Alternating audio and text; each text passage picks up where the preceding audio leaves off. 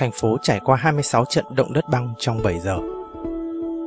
Những trận động đất băng sẽ trở nên ngày càng phổ biến trong tình trạng khủng hoảng khí hậu, đe dọa phá hủy nhà cửa và đường xá.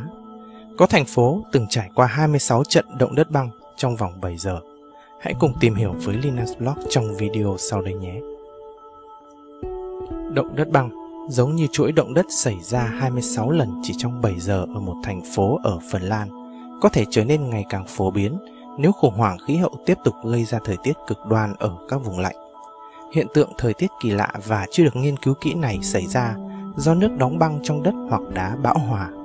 Cơ chế phía sau động đất băng có nghĩa chúng ảnh hưởng tới những khu vực có nhiều hơi ẩm trong đất, thường là ở gần nơi có nước.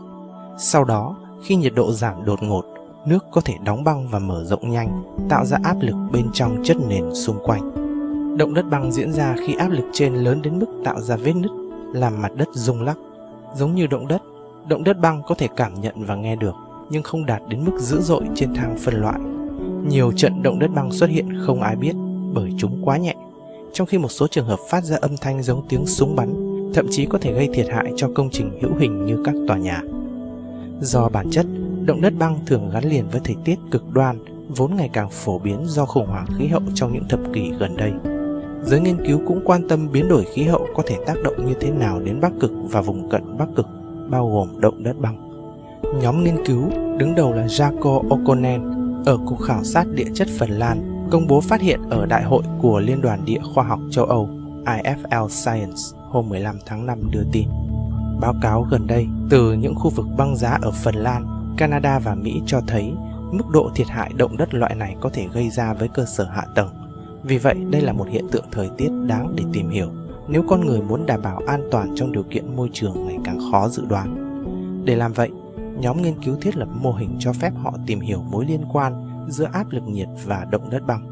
Áp lực nhiệt tạo bởi bất kỳ thay đổi nào trong nhiệt độ vật liệu khiến nó mở rộng và co lại, như tác động của nước đóng băng tới đất bão hòa.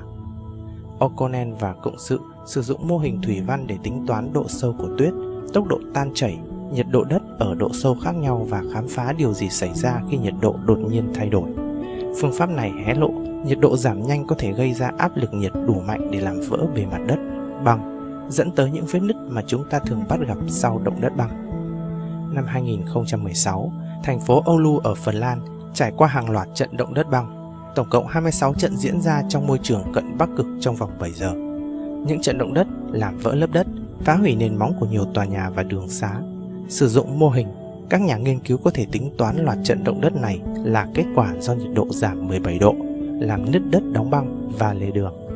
Việc hiểu rõ sức chịu đựng của các chất nền khác nhau có thể cho phép giới nghiên cứu dự đoán khu vực nào dễ chịu ảnh hưởng từ động đất băng, đặc biệt là khi nhiệt độ biến động mạnh trong tương lai. Nếu thấy video hay, xin hãy like, share và đăng ký kênh để tiếp thêm động lực cho kênh sản xuất các video tiếp theo.